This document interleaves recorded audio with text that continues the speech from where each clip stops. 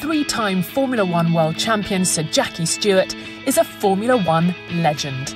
A dead shot when it came to clay pigeons, his aim on track was rarely off, and his commitment to driver safety fired up those in motor racing who would listen and changed the sport forever.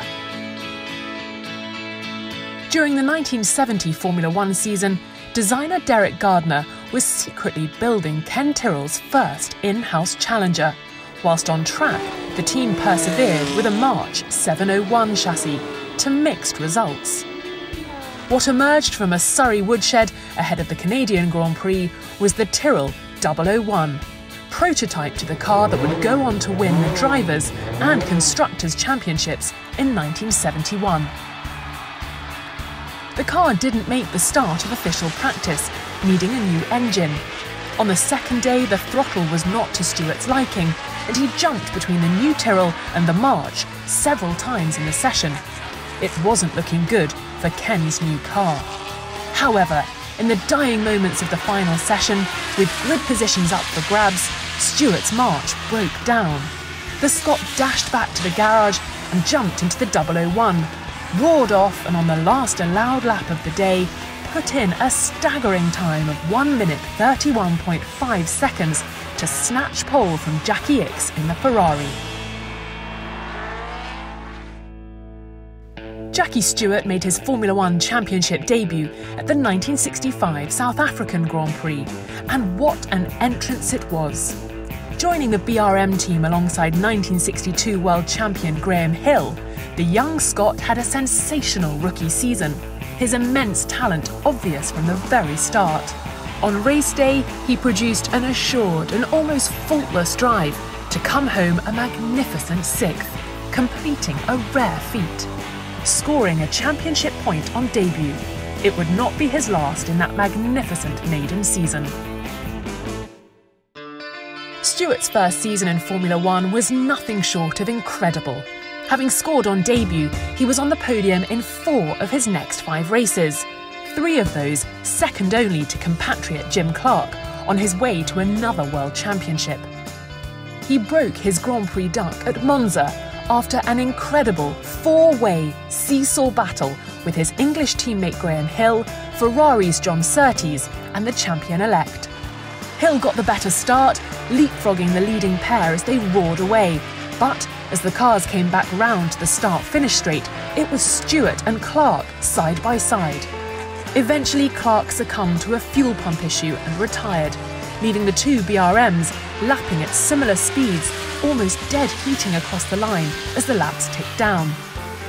On the final lap, the tiniest of errors saw Hill touch the gravel and get a little sideways, and that was all Stewart needed to bring his racing green carriage home for a maiden and thoroughly deserved victory. Monaco is the race they all want to win, but the fact that the famous circuit through the streets of Monte Carlo is only open for one weekend a year makes it a Grand Prix that's impossible to practice for. You need to be quick and you need to be fearless. Jackie Stewart was both. He'd been on the podium after his first foray around the Principality as a rookie, but 12 months on, now a seasoned campaigner after that superb debut year, the Scot began the new season in style. P3 after qualifying, as the flag fell, he was soon into second, close behind race leader John Surtees in the Ferrari. By lap 5, the chasing pack were out of touch, with Stewart harrying Surtees at every turn. Sensing a problem with his rear axle, the 1964 champion was forced to wave the young Scot through, and Jackie never looked back. Others, such as Jim Clark and Lorenzo Bandini, challenged, but faded, and in the end, just four cars completed the 100 laps, all of them behind the Flying Scotsman.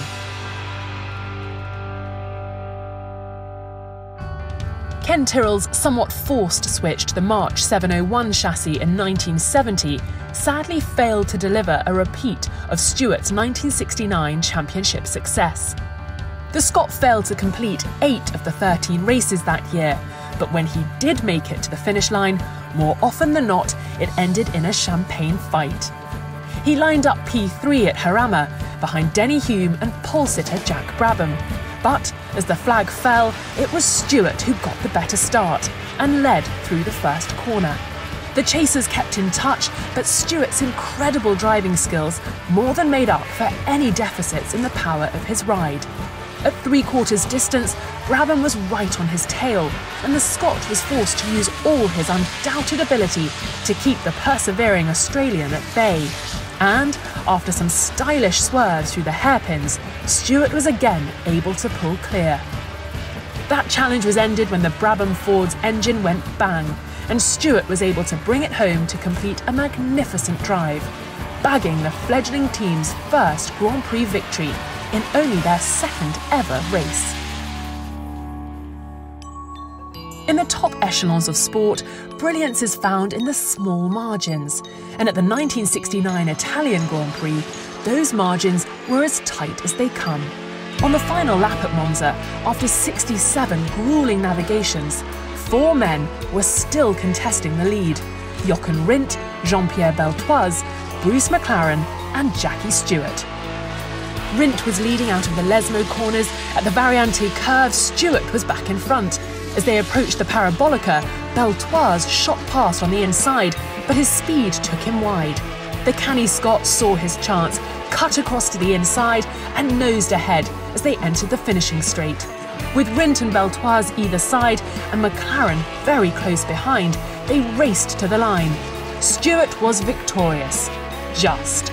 With a mere 19 hundredths of a second separating the first four cars. That micro thin victory at the famous Lombardy circuit brought Stewart his first Drivers' Championship and delivered Ken Tyrrell's Matra outfit the Constructor's Crown. Jackie Stewart had some incredible moments in 1971 on his way to a second World Championship, and one of his greatest drives was on the streets of Monte Carlo. It would be his second of three victories in the Principality, and it was nothing short of majestic. He put his Tyrrell Ford on pole, over a second quicker than Jacky Ickx in the Ferrari, and shot away from the off, taking little time to open up a huge gap to the chasers.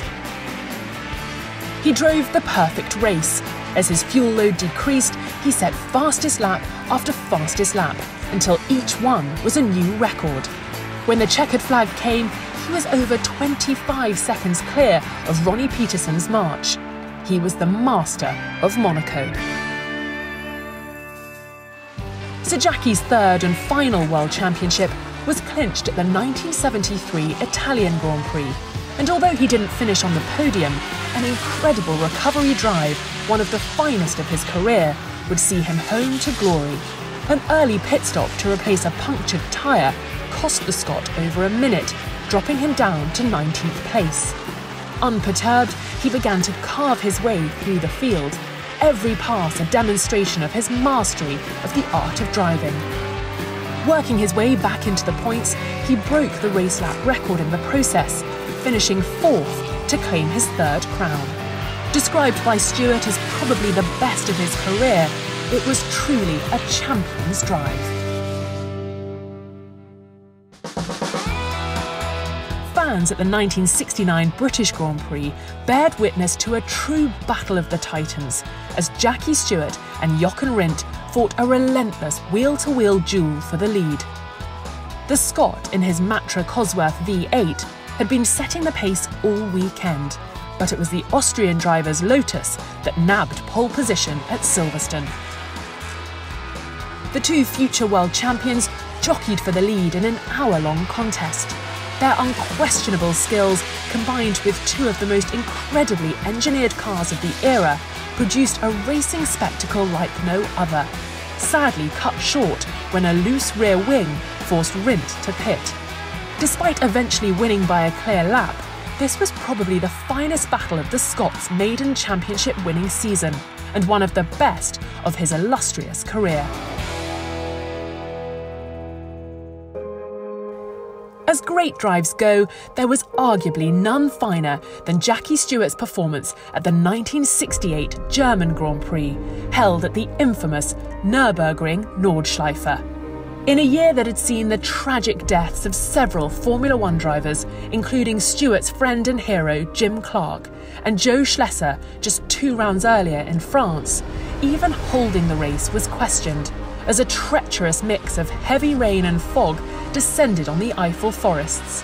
What followed was one of the most incredible performances in the history of Formula One. Pushing his Matra through the cold, wet, and blinding conditions, carrying a wrist injury that made every turn of the wheel a fight through the pain barrier, Stewart left his world class rivals in his misty wake. Later dubbed the Green Hell by the man himself, this superhuman effort was a mark of his character and class, and he came home an astonishing four minutes ahead of the chasing pack. And thanks to Stewart's safety campaigning, we may never see its like again.